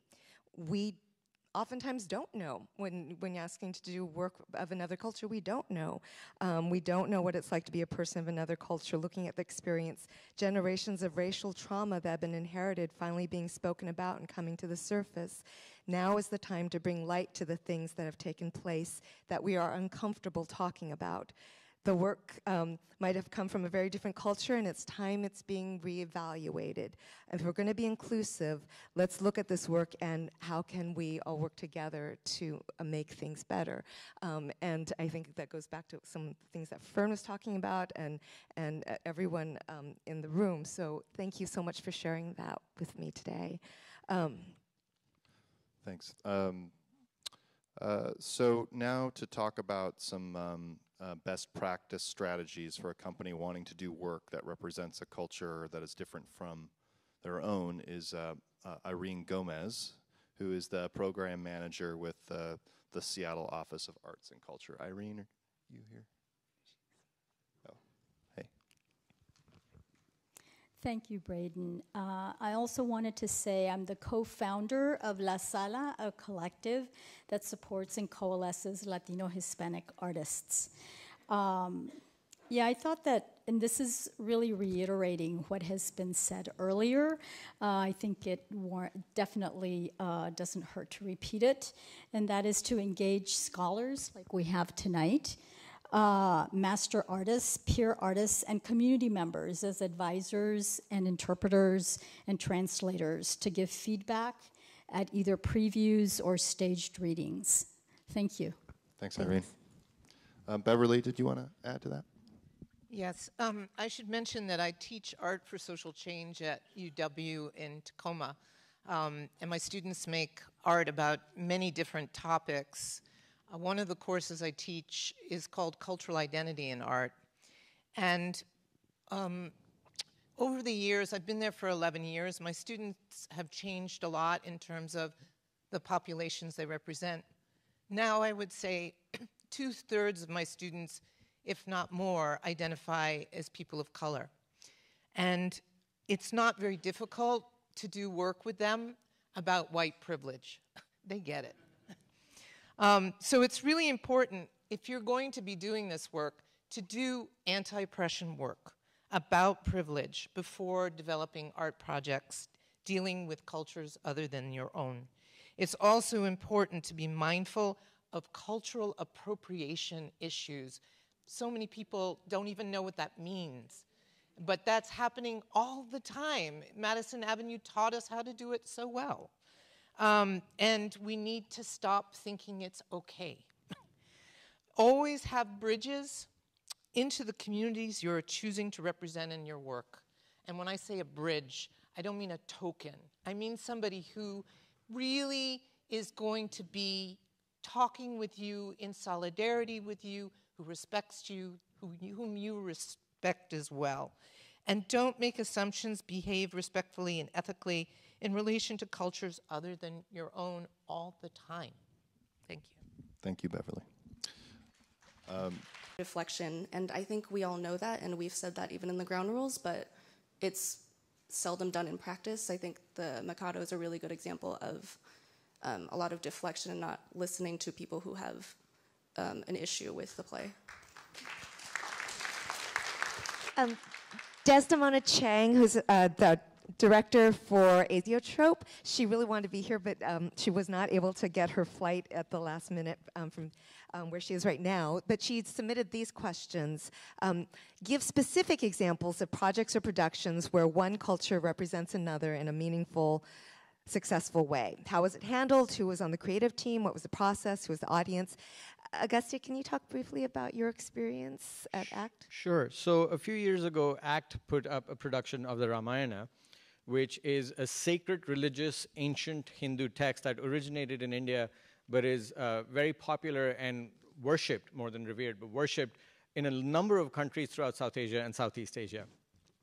And uh, Kurt and I had a discussion about this probably years before he actually had solidified this idea that if it was even possible. And the, one of the first questions he said is, "How am I going to do this? This old white man." And and so he, it, the thought was very clear in his mind right from the beginning.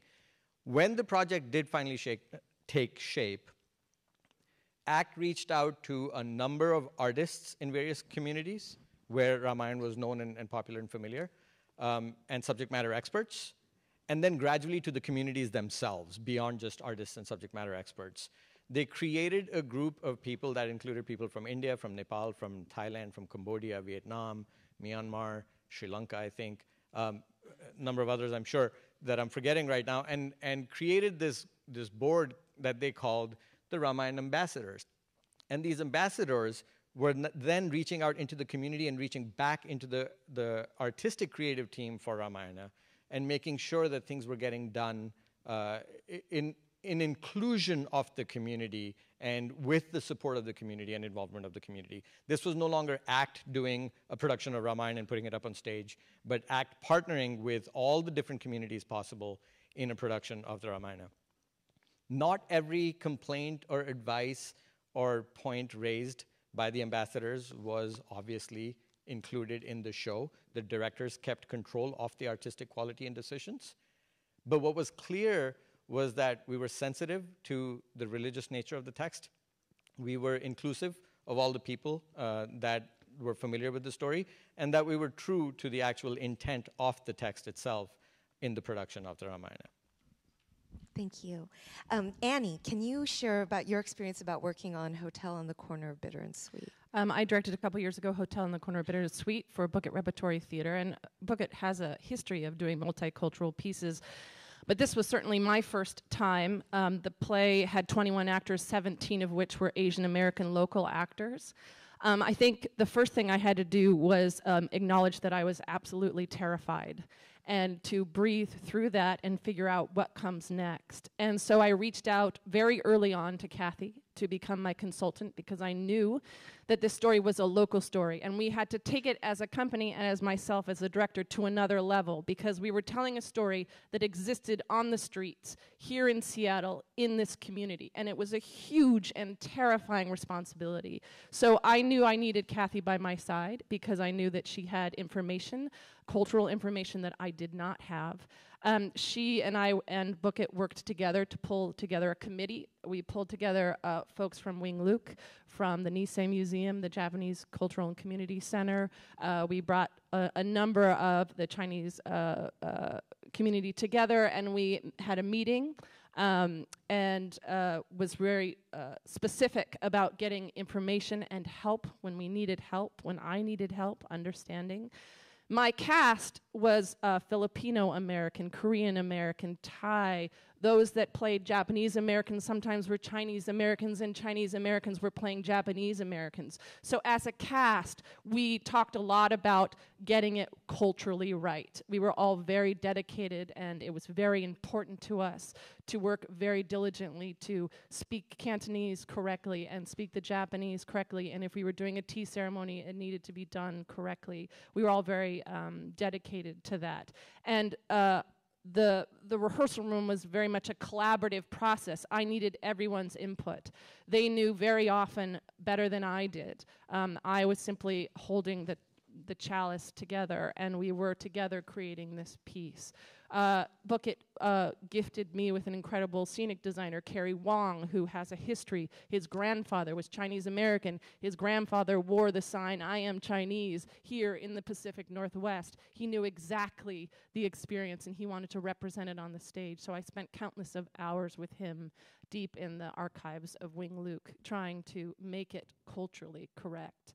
Um, and then we reached out to 4Culture and they paid for a staged reading of the play that we then took out to the community, out to uh, the Chinese community, the Japanese internment um, organization. We performed it because it was also important to me and important to Book It that the community came to see this piece. I didn't want them to hear about the piece that we were doing about their experience. I wanted them to come, and that meant the responsibility level jumped to another, uh, uh just astronomically huge. In you know, had to get it right. So we we we made a huge effort to reach out to that community to tell them who we, what we were doing and the story was about them, and that we wanted their feedback and we wanted them to come. So it was a very long process, um, but it was a very deliberate process. And in the end, we sold out before we opened. And that was a huge uh, a coup for Book It, yes. But for me, what, it, what, what meant the most was that the audience was so diverse and it was so powerful, and the experiences of those who lived it came up to us afterwards, and that was incredible. Thanks, Annie. Um, so, how can arts organizations demonstrate that they truly want to be more inclusive? What are some other ways that uh, we can do that? Um, Fern, do you, you want to offer some tips? Um, I can speak to uh, engaging Native community. Um, I'd start first by saying that uh, most Native people are incredibly proud of our culture and our resiliencies um, and are happy to share, um, happy to teach. Um, in my own experience, uh, what can lead to success is understanding that um, Native arts entities or groups are receiving a disproportionately smaller amount of funding dollars and have capacity issues. So don't invite them downtown to um, look for parking and take staff time out uh, to visit your well funded organization, go to where we are. Go hang out with Native people. Look for um, local tribes, uh, the, the people who were here originally. I think that's always helpful to um, understand that you have urban Indians and you have your tribal Indians, and um, and also that Indians aren't homogenous. Uh, in Red Eagle Soaring, we have over 36 different tribes represented, and the majority of them aren't from the Northwest. Um, but mostly just take yourself to where Native people are and go spend time with them. Don't expect that we're going to come and hang out for a couple hours and you're going to learn a lot. Really, you, it, it takes a much deeper investment in time and funding than that. Thanks, Fern. Val, how about you? Any any tips for uh, inclusion? Um, well, it's it's interesting. You know, I, I feel a little bit conflicted even being a part of this discussion because the moment that I rise to speak, I'm problematized. Because it's all I ever think about is race, right? Because that's all I, that's, that's a totality of my intellectual, artistic, creative impulses is actually, it's all about race all the time. And so, just even to be up here as part of this conversation is a little bit stress producing for me. Um, so, what I will say about inclusion, I have experienced it, uh, efforts at it uh, in many different ways in my time here in Seattle. For seven years, uh, the Hansberry Project was inside the incubator of ACT Theater, and there were some glorious and some horrendous results of that experience. We made some really, really beautiful things, and we also struggled to figure out how we would talk to each other. Um, I, I, was blessed to be able to sit in leadership meetings with them for five years.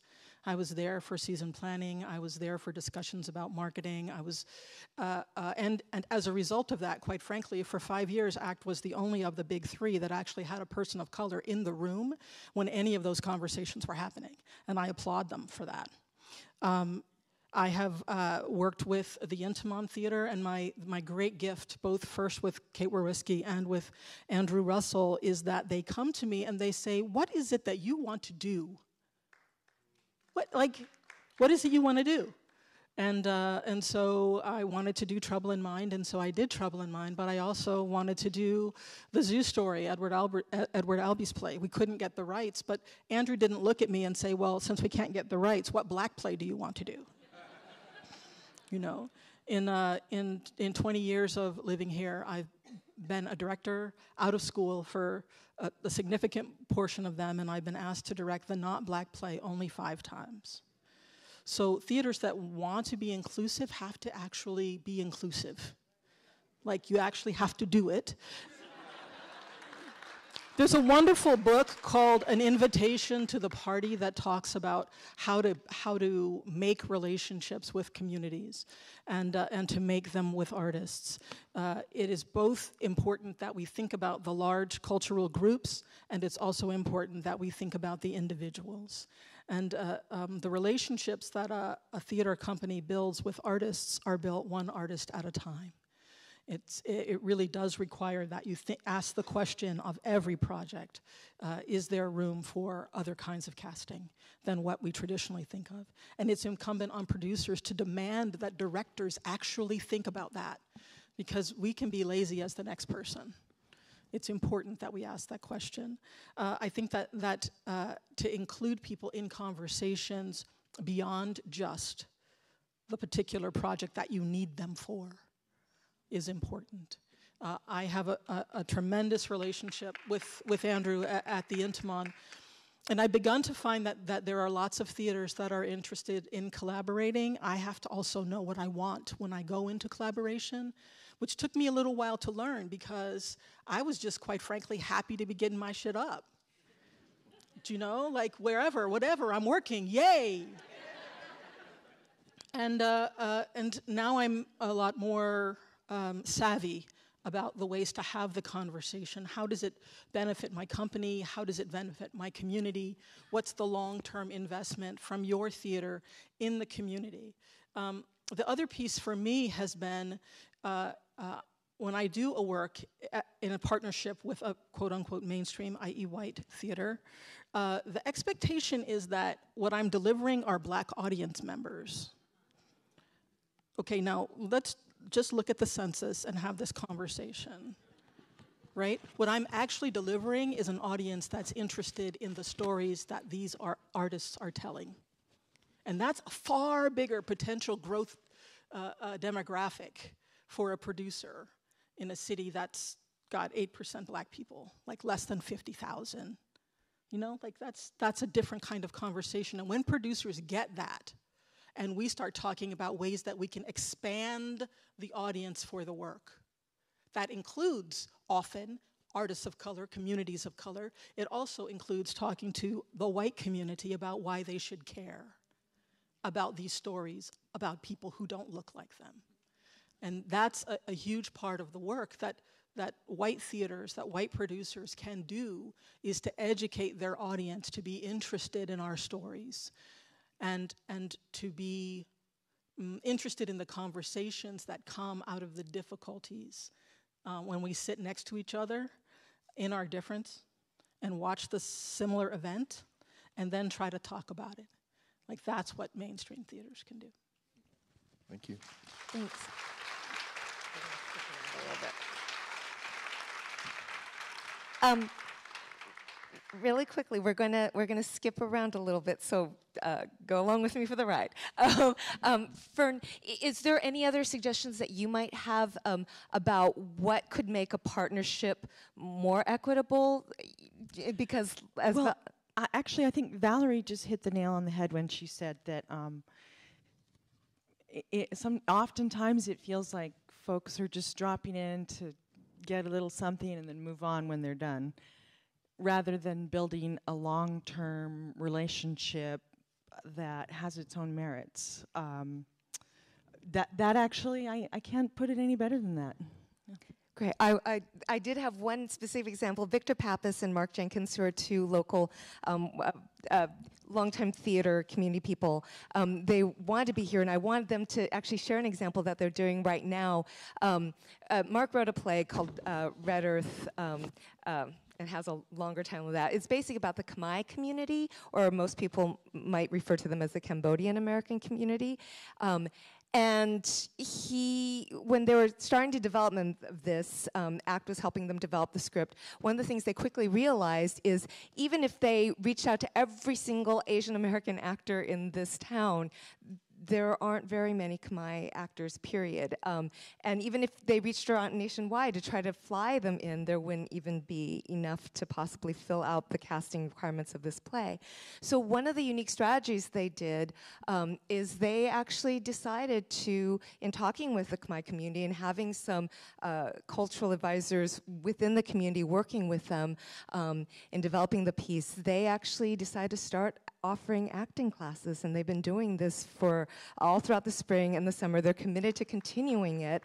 We've been having long conversations about now they want to broaden out because one of the things they realize is the next step for these young actors is they need to actually work with some professional actors to get to that next level.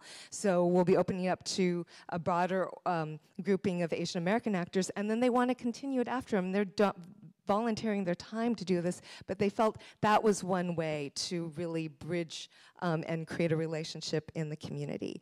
Um, uh, let's see, Pamela. Um, I'm skipping to you, Pamela Mijatov, who is the uh, artistic director of Annex Theater. Um, uh, something that playwrights can actually do to help create greater awareness for directors, because sometimes directors won't think of it themselves.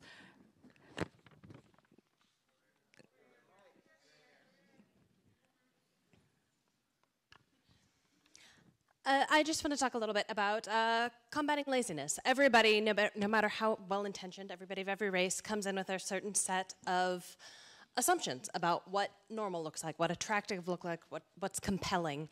And uh, too rarely those are challenged, and sometimes when those are challenged, those base assumptions are challenged, uh, they're kind of uh, swept away with questions of what's marketable, what's easy, what, what, what else can we do that, that we don't have to try so hard? And uh, I just wanted to share something. I worked on a play with a very wise and talented playwright named Courtney Meaker. And uh, Courtney, in her play Buckshot, wrote on the character page, this is page two of her script, underneath the listing of characters, she put this note Families can be multiracial, Members of friend groups do not look like copies of each other, and the default appearance of these characters should not be able bodied, slim Caucasians. In short, this should not be a homogenous looking cast, and certainly not all white. Uh, Courtney may never ever be in the room when any of her plays are cast, but it is not possible to read her play without this in your brain. And I would challenge everybody who is ever involved with casting a show, uh, write this out in longhand on an index card, uh, stitch it on a cross stitch sampler.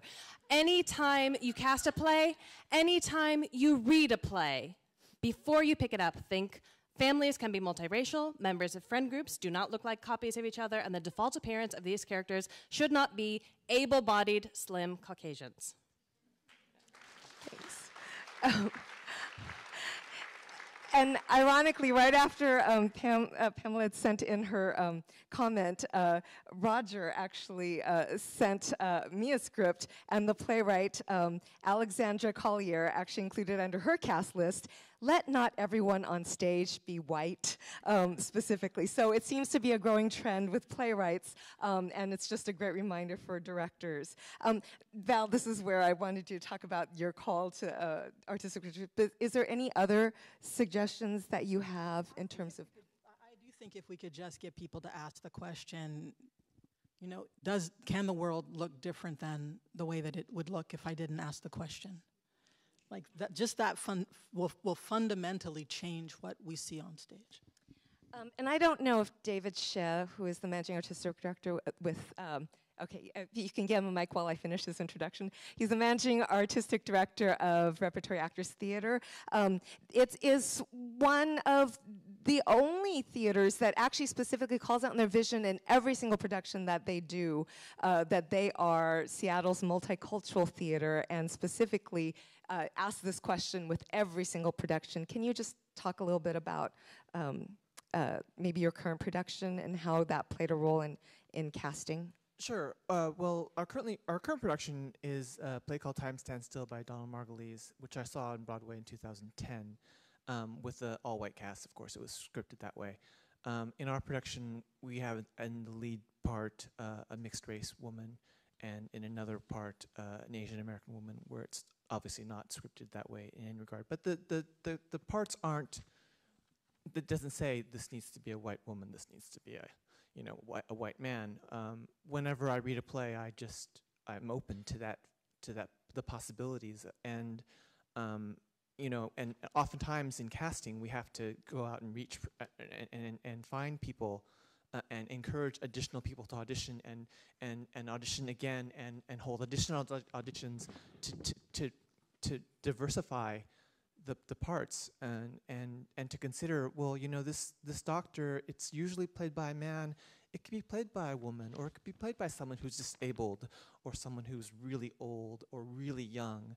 Um, and, and when a script says, you know, this is a 30 year old, somebody, somebody, that actors are actors, you know. I, I, I know some 50 year olds that look like they're 25, and I know some 25 year olds that look like they're 40.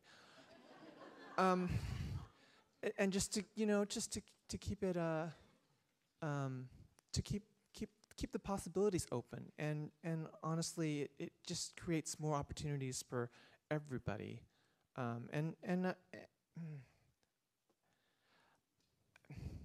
Thank you. I, I, I just want to say one more thing, and that's that if there are, are organizations out there that are doing the things you want to see in the world and are, are expressing and showing um, stages that actually look like the real world is to please go out and support them.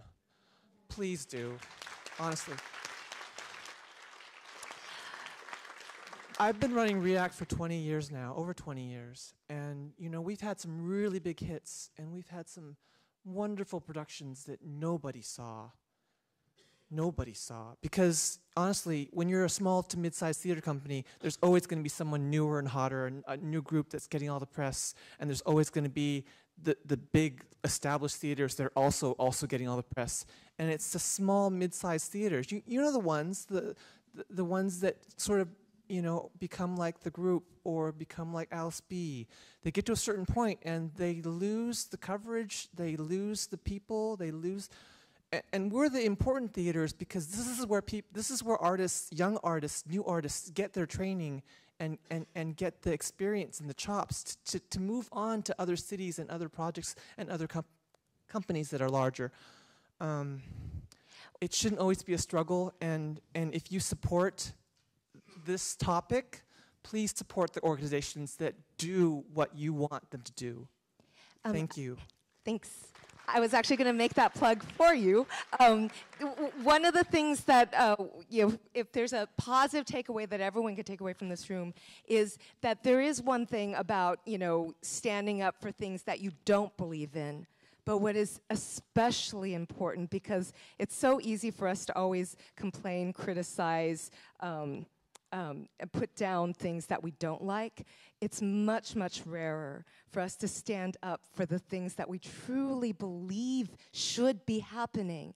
And how do we support those people, those organizations, those artists, those principles? It's by showing that positive reinforcement. And if there's nothing else that you get out of um, coming here tonight, um, hopefully that is the one thing is what do you stand up for? What do you believe in? And that's what we should be standing up for. And Val, I'd actually love to have you, you had submitted uh, a very specific question and uh, gauntlet for the Seattle community and beyond. Can you um, provide that? But, but, I'm not, I don't have to answer it though, right? No. no. I, I want to leave. I want to leave everyone here with this challenge. What makes this time different? Because we do this really well. Seattle does this like, let's have a community feeling moment and make sure that everyone feels good about everyone else's opinion and that we just are all love. I'm a double Virgo. I want to know what the heck happens next.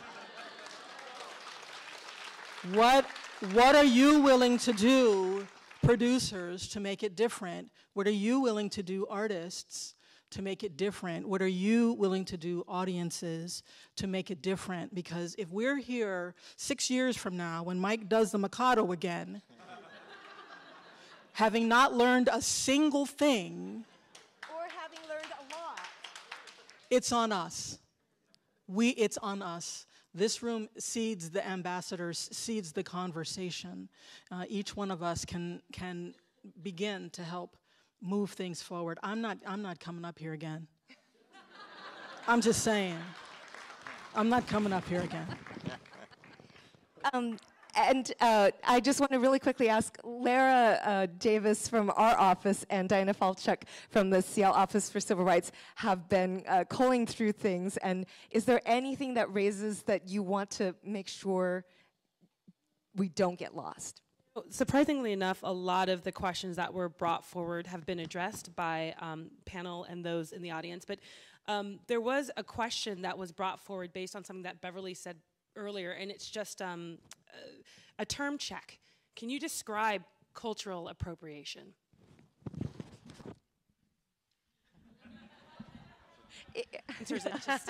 Anybody on this panel can answer that question, I'm sure, but um, there are many different examples, and, and um, just think about Disney and the way that Disney, in a movie like Pocahontas, is appropriating all kinds of things. Um, think about um, when I've had students, graduate students, who think, oh, I really love um, things that come from X culture, and I want to use that in my work. Are you a member of the X culture? No.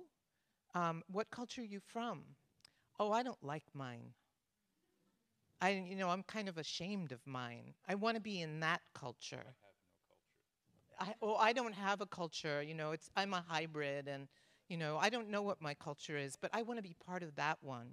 And they end up using it without any understanding of the tradition. They haven't spoken to any of the elders. They haven't spoken to anyone. They just have this idea of its beauty and its romance, and it's it's kind of sick.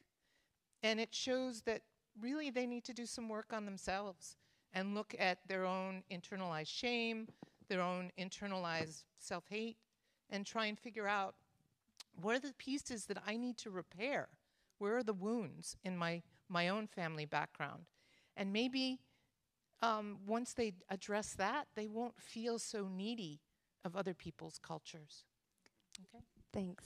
Um, we want to thank all of you for having taken the time to come here. This is just a beginning. This is just one conversation, and we will create change and things will be different and we won't be having the same conversation six years from now. Um, and to that effect, um, Jeff, can you close us out? Sure. Um, listen, I want to I want to thank all the folks up here on stage. Can we give everybody a big round of applause, please?